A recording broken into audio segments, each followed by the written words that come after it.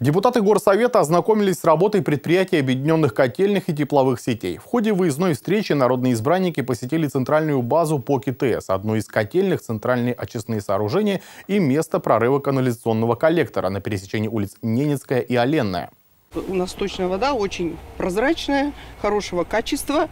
По крайней мере, качество нашей сточной воды намного выше, чем европейская. Как отметила руководитель по КТС Наталья Бетхер, в России очень жесткие требования предъявляются к очистке сточных вод, и центральные очистные сооружения Наридмара с этой задачей пока справляются. Мы своими силами тоже уже немало денежных средств вложили в тот корпус, который действует.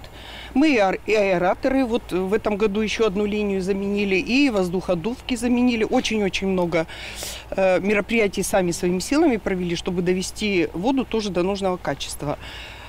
Ну, во-первых, мы заинтересованы, чтобы штрафы большие не платить, потому что постоянный контроль за нами со стороны Росприроднадзора и прокуратура очень часто у нас бывает – Почему-то тоже они сильно заинтересованы. Вот буквально осенью были, проверяли воду, она у нас должного качества.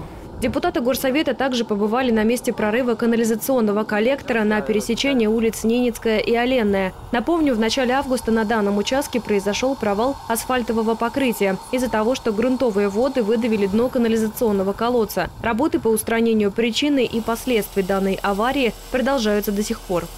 Мешает грунтовая вода подземное озеро или ручей там.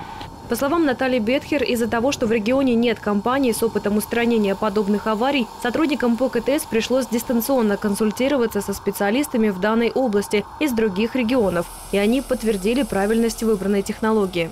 В городе опыта нет. Э, вот такие работы проводить ни у кого. А почему мы в этом убедились? Вот, может быть, видели, возле первой школы у нас авария уже с 17 года, она точно такая же. Точно такая же, но там мы вышли из положения, вот временную КНС-очку соорудили и качаем эти стоки. Три раза объявляли аукцион, два раза никто не вышел, на третий раз вышли и даже не приступили к работам. На сегодняшний день все работы по устранению коммунальной аварии муниципальное унитарное предприятие проводит за счет собственных средств. Одна только водопонижающая установка обошлась по КТС в 2 миллиона рублей. Как отметил председатель Горсовета Денис Гусев, подобные выездные встречи и знакомства с работой муниципальных предприятий и учреждений города проводятся в рамках подготовки главного финансового документа окружной столицы, чтобы учесть необходимые расходы для решения проблем МУПов включить какие-то расходные средства, э, вместе с тем организационные средства, э, организационные э, решения какие-то выслушать, какие не принимаются. Где-то, может быть, со стороны депутатского корпуса прозвучат вопросы, связанные с тем, чтобы ускорить по тем или иным направлениям работу. Ирина Никешина, Леонид Шишелов, телеканал «Север».